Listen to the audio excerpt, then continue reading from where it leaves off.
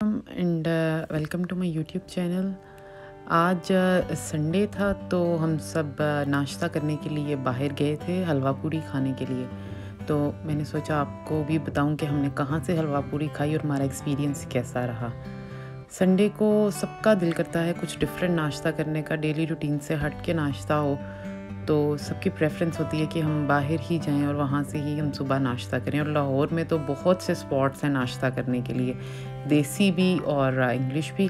But आज हम लोग हलवा पूरी की तरफ़ गए थे। तो जी, ये मेरी बेटी भी आप सबको हाई कर रही है। हम सब नाश्ते के लिए गए थे।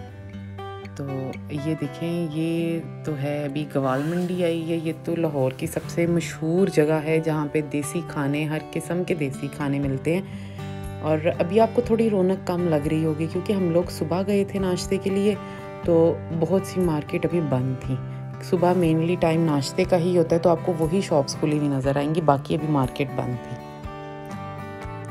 तो यहाँ पे तो मतलब आप समझें कि जो सबसे पुराने टाइम के देसी खाने हैं, वो आज भी यहाँ पे वैसे के वैसे ही मिलते हैं। और टेस्ट के पॉइंट ऑफ़ व्यू से कहें तो वाकई भी टेस्ट जो है, वो है ही इन्हीं एरियाज़ में है। जितना पुराना है टेस्ट वो यहीं पे है। तो ये हम लोगों ने हलवा पूड़ी जो खाई थी, वो हम गए थे नस्बत रोड पे। बहुत ही मज़े की इनकी हलवा पूड़ी थी।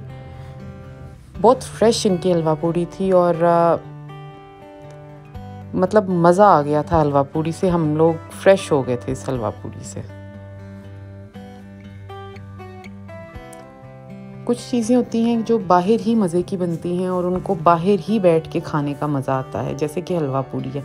ये जैसे ही गरम गरम कढ़ाई से निकलती है इसको खाने का उसी टाइम मज़ा आता है और उधर बैठ के ही खाने का मज़ा आता है।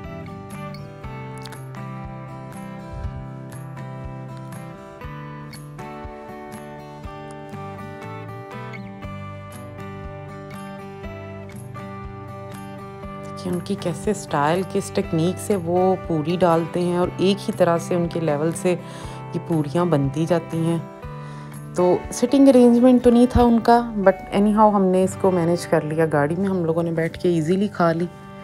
बहुत ही क्रिस्पी बहुत ही मज़े की इनकी हल, पूरी थी। हलवा भी बहुत मज़े का था, बहुत ज़्यादा तेज़ मीठा नहीं था बट अच्छा एक नॉर्मल उसमें था।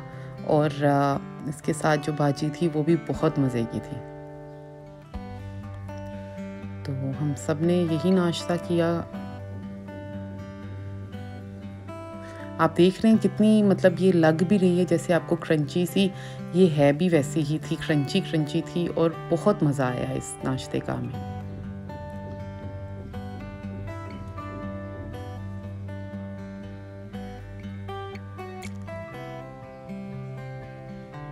मुझे और मेरी मदर इन लॉ को तो बहुत पसंद है हलवा पूरी। हम दोनों बहुत शौक से खाते हैं।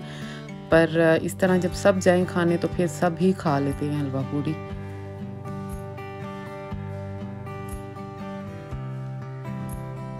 नाश्ता हमेशा सारी चीज़ों से मिलके ही पूरा होता है।